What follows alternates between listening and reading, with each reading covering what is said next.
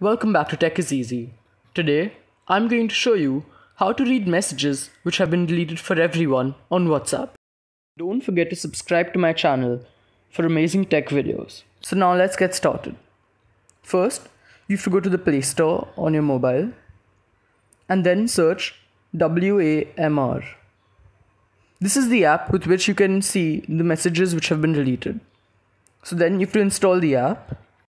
After opening the app, you have to click on accept, click next, and then you have to click on WhatsApp as that's the app which you want to monitor. Then basically how it works, you'll receive a message and then if the person deletes the message, this app will recover the message so that you can see it.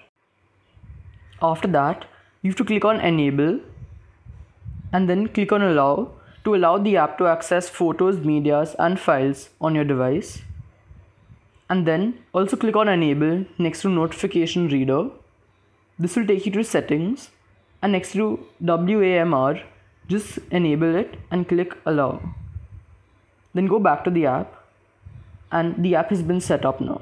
I'm going to message myself from another phone saying hello and then I'm going to delete the message.